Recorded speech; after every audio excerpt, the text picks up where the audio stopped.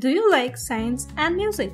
And you want to pursue in both fields? You can combine both becoming a recording engineer. So, what work a recording engineer do? And how you can be a recording engineer? This video is the answer of these questions. A recording engineer is someone who sets up and operates recording equipment and is responsible for creating and producing music. They work with technical and mechanical aspects of music.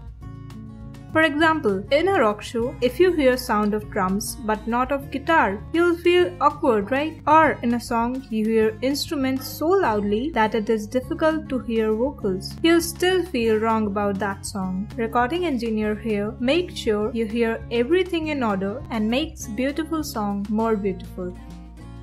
There's no specific qualification for being a recording engineer, but if you want to learn recording and mixing as a professional, then here are top schools around the world which provides recording engineering courses. They are Berklee School of Music Boston, New York University, and Georgia University Atlanta. In India, you can learn recording and mixing in Film and Television Institute of India Pune, Zee Institute of Media Arts Mumbai, and Government Film and Television Institute Bangalore.